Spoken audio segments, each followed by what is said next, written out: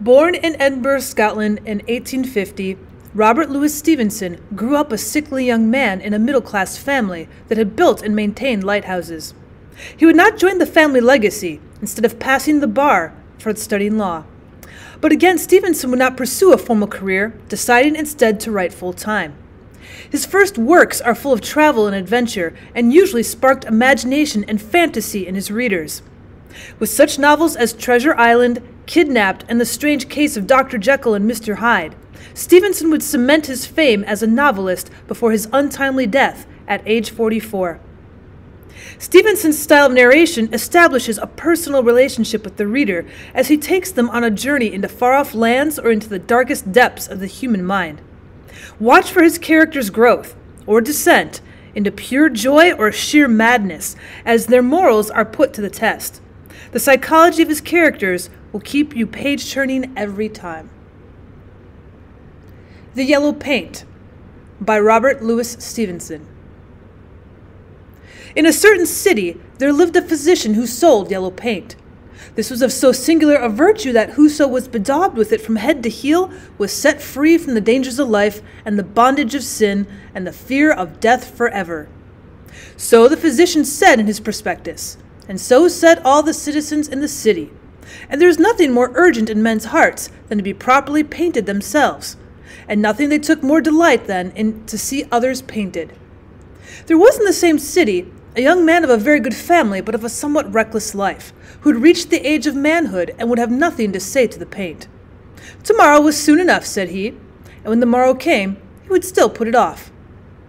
He might have continued to do until his own death, only he had a friend about his own age and much of his own manners, and this youth, taking a walk in the public street with not one fleck of paint upon his body, was suddenly run down by a water cart and cut off in the heyday of his nakedness.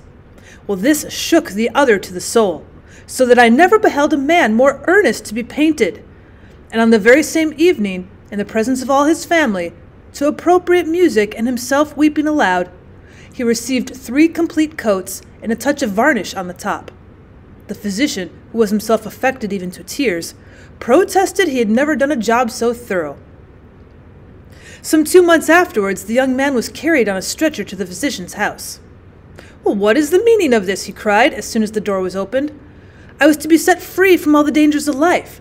And here have I been run down by that self same water cart, and my leg is broken. Oh, dear me, said the physician, this is very sad. But I perceive I must explain to you the action of my paint. A broken bone is mighty small affair at the worst of it, and it belongs to a class of accident to which my paint is quite inapplicable.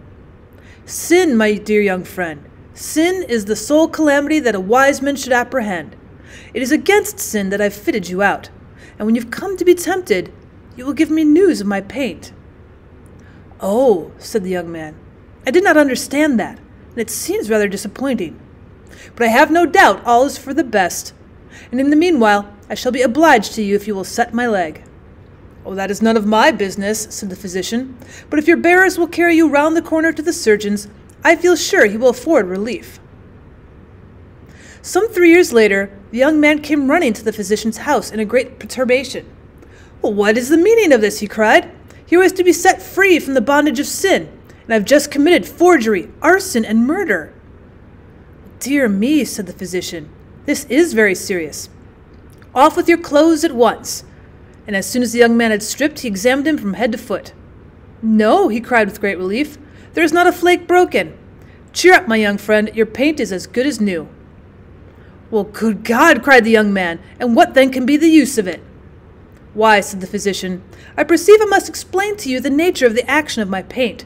It does not exactly prevent sin, it extenuates instead the painful consequences. It is not so much for this world as for the next. It is not against life,